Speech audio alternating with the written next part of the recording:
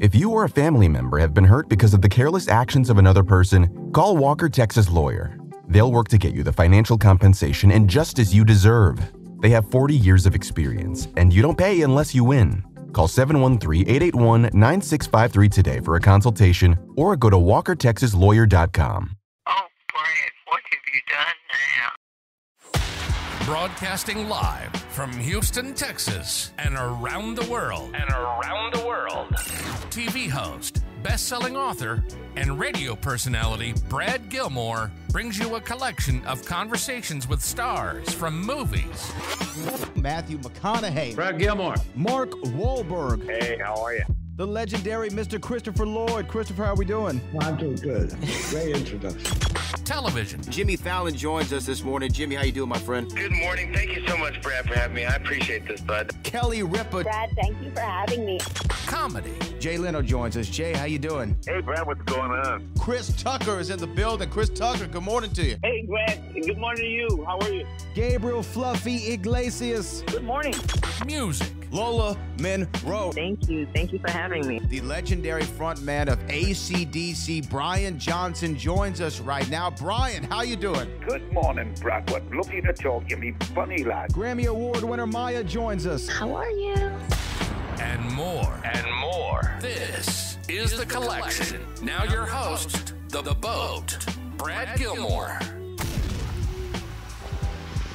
And joining us right now in the CW39 Spotlight to talk about the road to WrestleMania and the Royal Rumble, which is going to be going down at Tropicana Field this Saturday, streaming on Peacock. He is the phenomenal one, the former WWE champion himself, AJ Styles. AJ, good morning to you. Good Morning.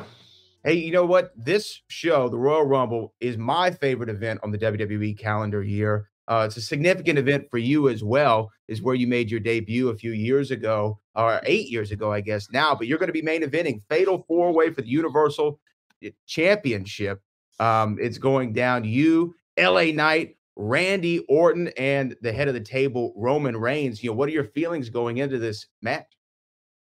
Well, I, I, I listened. Uh, I think we we got to count the the first year that I was in WWE, so I believe that makes it nine. Am I am I right on that? 16, Uh, whatever it was. My, I'm not good at math. That's why I do this. That's uh, it does it doesn't matter because it's not important. Uh, what is important is the WWE Championship, and uh, you know I want it back. I, I haven't had it in a while. It's time for Roman Reigns to let loose of the championship and let someone like AJ Styles uh, grab it and run with it. So, but it's just not. It's going to be a hard fought battle because you got two other guys that want it just as bad as I do with Randy Orton and LA Knight. So we'll see what happens. You know, uh, Randy came back a couple of months ago um, in November at the Survivor Series. You came back shortly thereafter after a little hiatus. Both of y'all in the best shape, perhaps ever.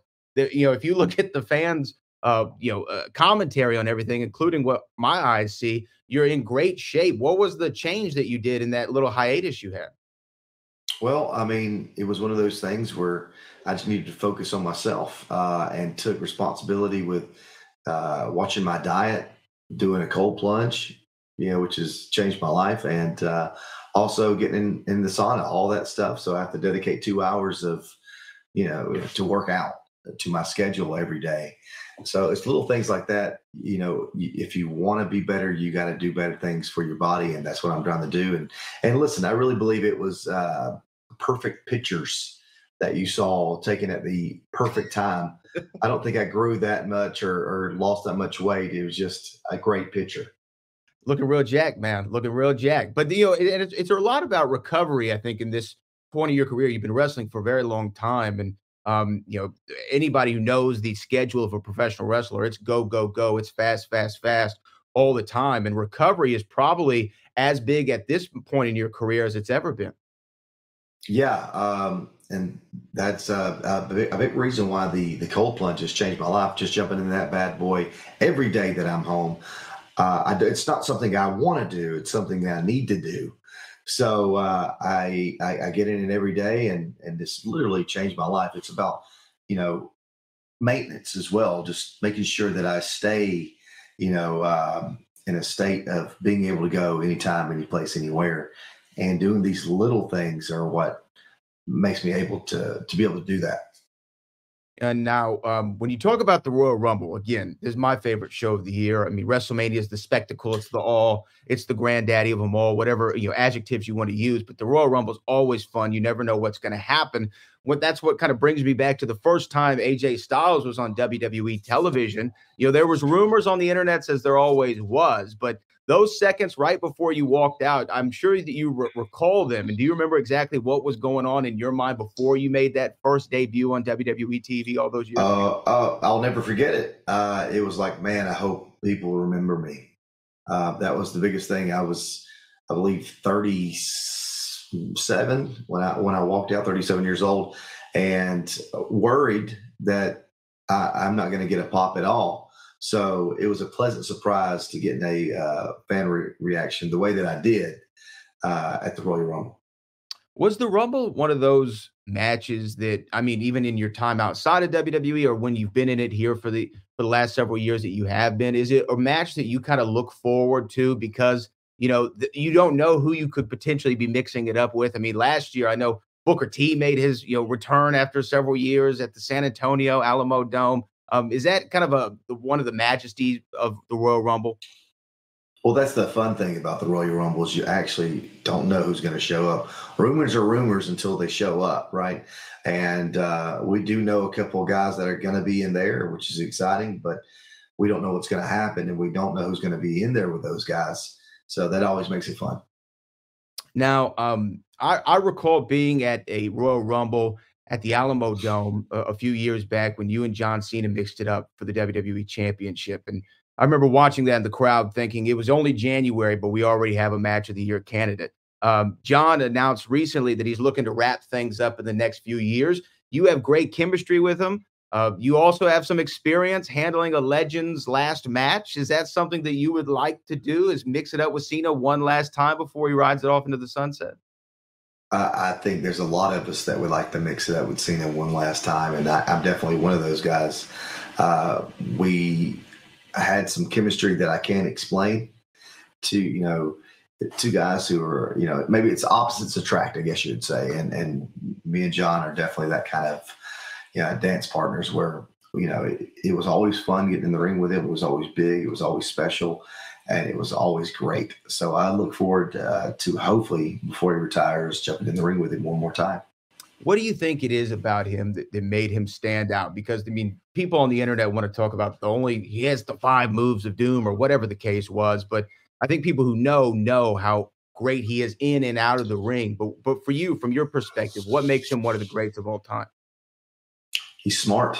He's probably one of the smartest guys to ever be in the ring. He's I don't know what his IQ is, but I would venture to say it's very close to being a genius. He's just smart, quick witted, uh, and knows how to get things done. Listens to the crowd. He's one of the best uh, I've ever been in the ring with, and I'm not saying that he's one of the best wrestlers, but he knows how to entertain a crowd better than anyone I've ever been with. So uh, there's a lot of great things about John, but to me, that's what sticks out the most is his ability to adjust and perform as the crowd sees what they need. You know, you, you got to hear them and listen to them, and he does that better than anybody. You know, before you came into the WWE, you were regarded as one of the great wrestlers in the world, and you continue to hold that title to this day. Um, but what are the things that you learned coming into the WWE that you didn't have in your arsenal before? I ask you that because when I talk to Booker T all the time when we do our show together, he always mentions, you know, I was a great professional wrestler in WCW. When I came to WWE, I became a great sports entertainer. Um, what are the differences that perhaps you picked up on when you came into the WWE?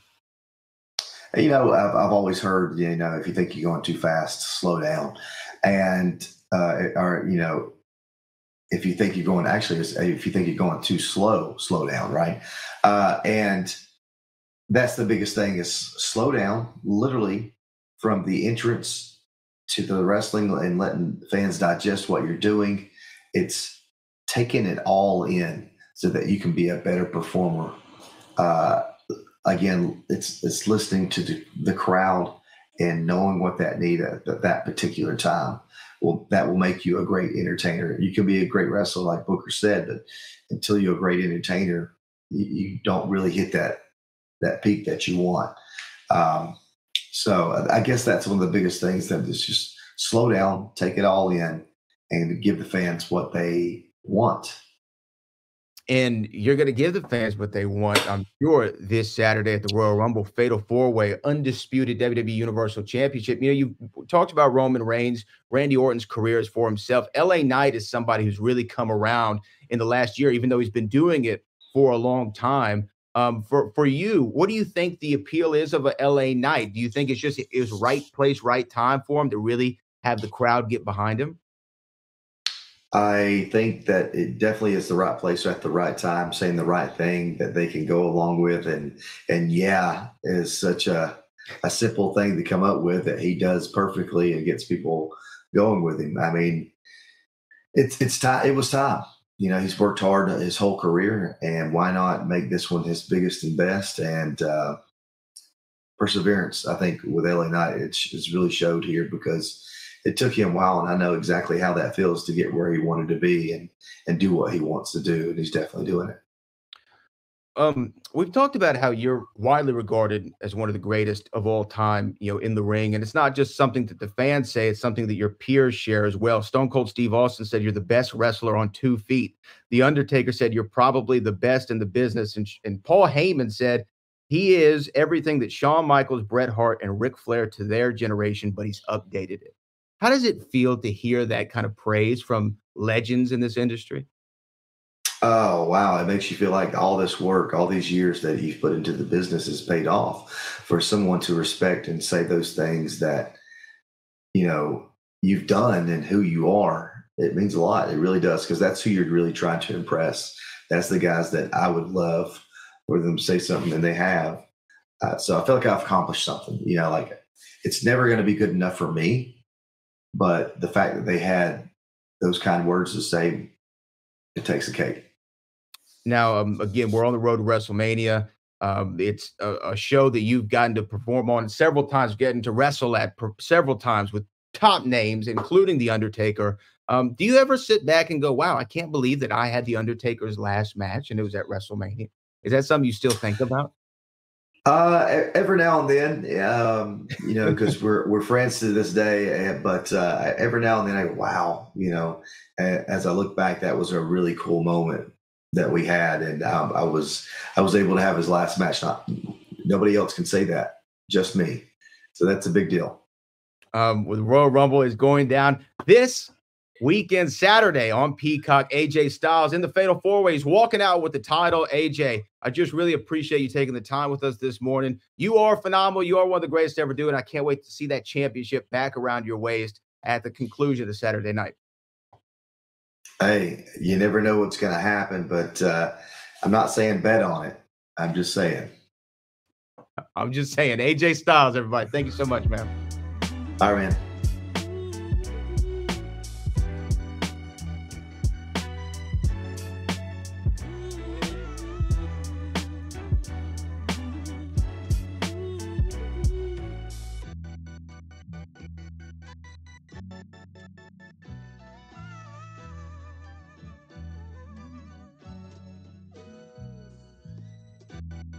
Thank you.